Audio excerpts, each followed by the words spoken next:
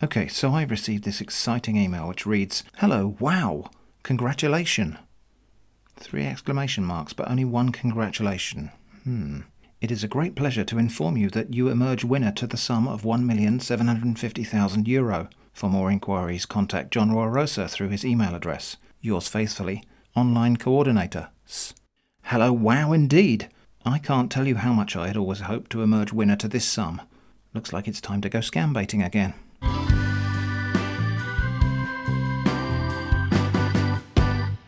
Before we begin, just a usual quick note about this channel. I make a variety of content. Don't be surprised if the video following this one is about food, nature, or some random other stuff. It's what I do. So wow, congratulations indeed. What an exciting email to have received from... Hang on a moment. I just need to correct this apostrophe catastrophe. From online coordinator is.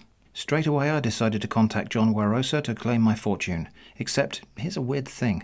When I clicked reply, the email address was Rev J. Barosa, not Warosa. So I replied, I don't remember entering this competition. What's this all about? Is your name Warosa or Barosa? What's going on? Rev John Barosa replied with an email that was an obvious pre written template claiming that I had won the lottery, the purpose of which was to encourage active users of Google. Well, it's about time.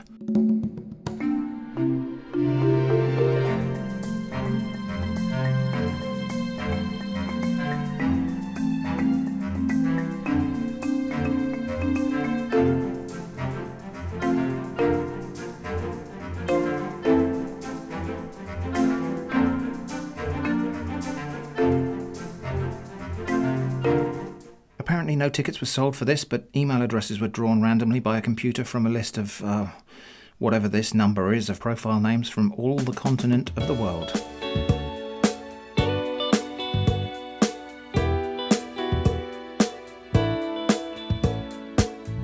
Now, I know what you're thinking obvious scam, right? But wait, this lottery is approved by the Benin Republic Gaming Board. There's even a certificate to prove it.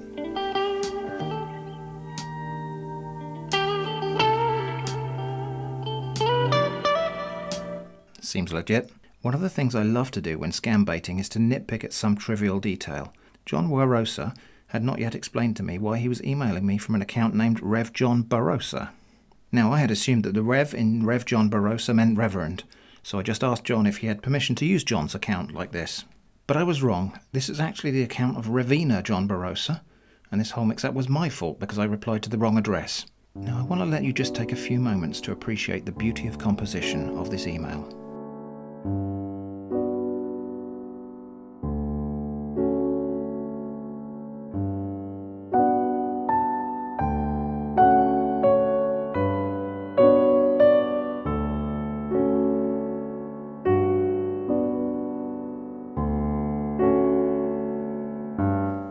Anyway, John Barosa and John Warosa apparently work in the same office, so I said that must get really confusing. I bet there's lots of funny mix ups. But what is this about? I didn't enter any competition. Is this a mistake? John Barosa replied with much the same email as before, but to say very sorry for the mixed up, but we can proceed from here. Oh, John, such optimism. You don't seem to realise who's driving this thing. So this is a Google lottery. How strange. I didn't know they did that. Amazing. Where do I need to go to collect my winnings? John Barosa replied to say, Yes, it's a Google lottery. Then he asked me for those pesky personal details again. Now, we could mess around and delay here for a while, but there's something else I want to try, so I just replied with some of Manuel's idea bits. The scammer had asked me for a phone number, and I supplied the number of my disposable prepaid SIM, together with an excuse why it would be switched off if he ever tried to call me. I was intending to play on this a bit more, and tell him that I had to climb a tall tree in the garden in order to use my phone, but that didn't play out this time. We'll save that idea for a future video. Anyway, I just asked if the promised prize would be delivered in cash. Of course, the answer to that question is no. The options are a prepaid Visa ATM card. Yeah, sure, I believe prepaid cards exist with a balance of 1.75 million euros. Why not? Or a cashier check. Both of these options require me to pay a fee in advance. Of course they do, naturally. The last paragraph stated that the charges could not be deducted from the prize, almost like they anticipated my next action, so I ignored it and just stated, Please deduct the insurance from the prize and just send me the balance. No problem. Looking forward to receiving my prize. Of course, this wasn't going to work, and John B just pasted in that pesky paragraph again. Now, I just asked if this was a legal requirement, and indeed if John was completely bound by law.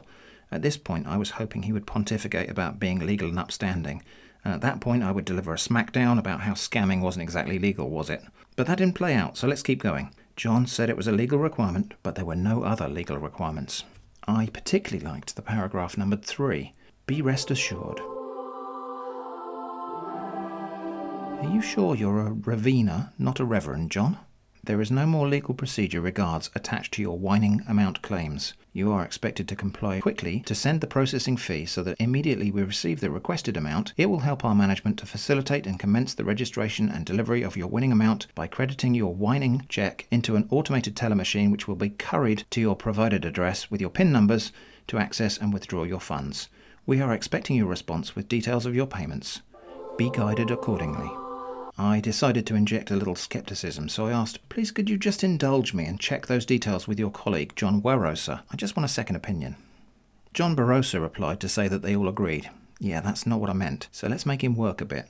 I replied, Sorry, perhaps I was not clear enough. Please ask John Warosa to email me directly from his own email account to confirm this. And so John now took over from John. John, like John, was clearly a fan of Comic Sans and sent a wordy but clearly pre written email of congratulations. And here is where an interesting opportunity arose. Attached to this email were copies, forged of course, of a covering letter from the bank. Let's just take a few moments to enjoy that. And also a copy of the supposed cashier cheque I was to receive for my prize. Lovely. So I said, Dear John, thanks so much for emailing me about this. I will print out the cashier's cheque and pay it into my bank account tomorrow. I had no idea it would be this simple. Your colleague, Ravina John Barosa, was saying something about an ATM card and a fee. Strange. Just one question before I go. The signatory name on the cashier's cheque looks like it says Jeremy Juggler. Is that correct? Thank you so much for making this such an easy transaction. Your diligence and efficiency is to be highly commended.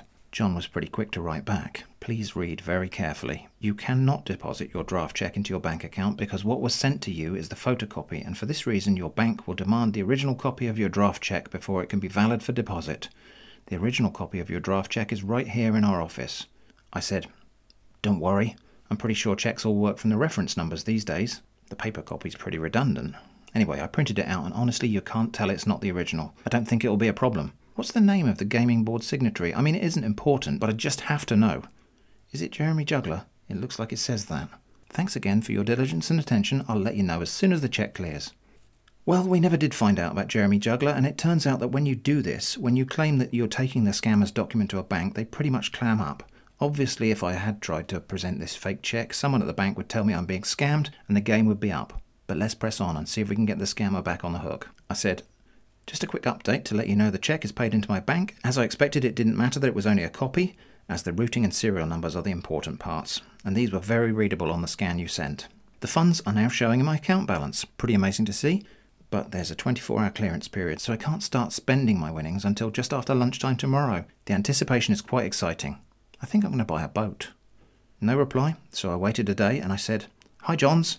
There seems to be a little delay in the clearance of the funds. The bank initially said 24 hours after deposit, but it seems that I am as yet unable to begin spending my winnings. Any ideas why this might be? Still nothing, so I waited three days and said, Dear Johns, Warosa and Barosa, I don't understand why you've stopped responding at this critical point in the transaction. I still need your help. Please forgive me if there is some prevailing reason for your inability to respond.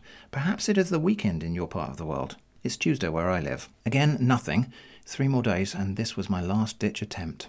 Dear Johns, I am sorry to report that the cheque did not clear my bank, and I don't have the funds now after all. This is a big disappointment. Please advise what I should do next.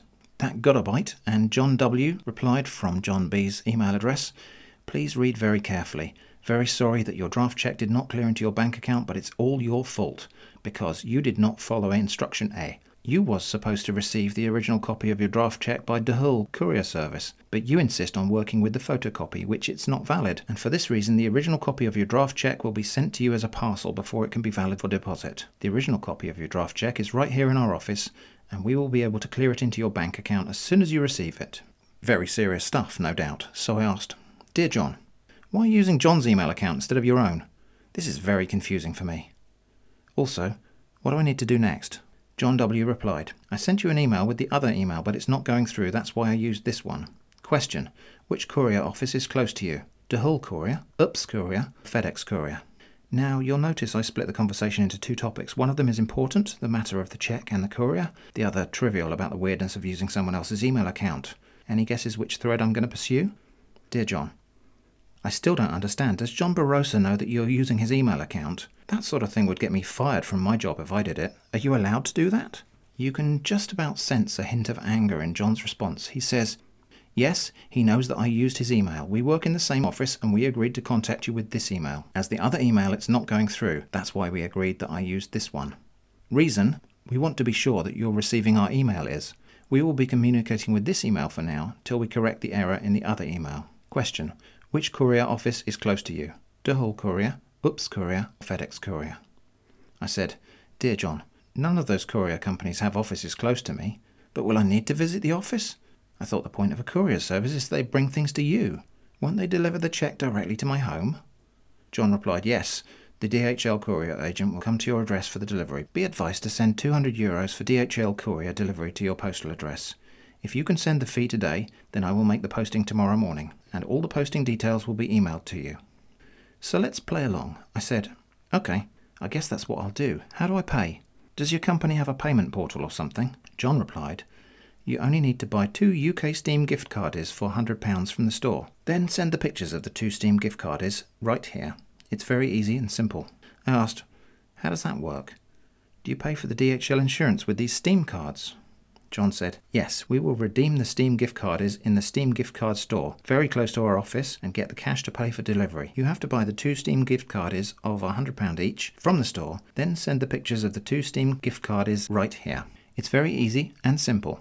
While I was figuring out my next move, John was getting impatient, and I guess he thought he could smell blood in the water at this point.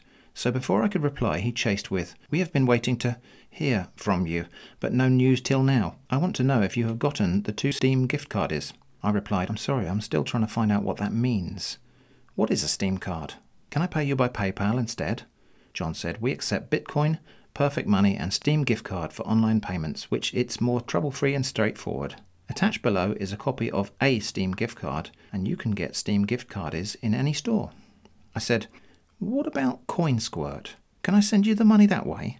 John said, You can make the payment online with your credit card using World Remit Money Transfer, Western Union Money Transfer, or MoneyGram Money Transfer. Kindly choose one of these options so that we will provide the receiver's detail list to you.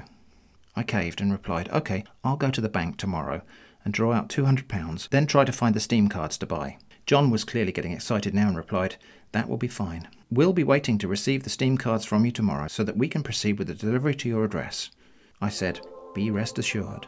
I'll deal with this tomorrow with all haste and diligence. The following morning, I told John, just heading off to the bank now. Now, I have to confess, I left John hanging for the whole day.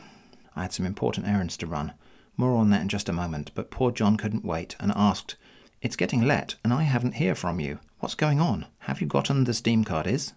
Well, no, at this point I hadn't gotten the Steam card is, because I had been busy preparing to tell John once again that the cheque really had cleared. But this time I decided he deserved some evidence. So, to buy a car like this it costs nearly £50,000, but it turns out that you can just stand in front of it and dangle your own keys completely for free. So here's what I sent.